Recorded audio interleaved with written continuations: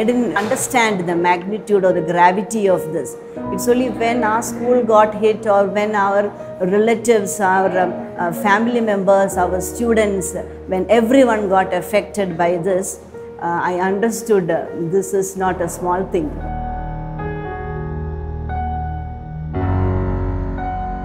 The whole ground floor has been washed out. There will be around 50 rooms here as classrooms and office rooms and uh, uh, the administrative block, computer lab. Uh, all these things have been washed out. It is an immense loss for our school. This is not going to uh, kill our enthusiasm.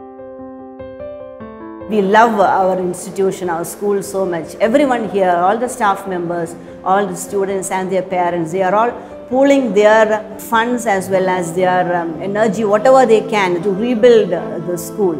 Everyone is ready to rise up to the uh, situation. All the staff members, even the parents, the students, everyone is with us and we are sure within one month we will be back to its glory. So many people uh, joining hands. And uh, this is a time when um, the me in everyone will be changed to we.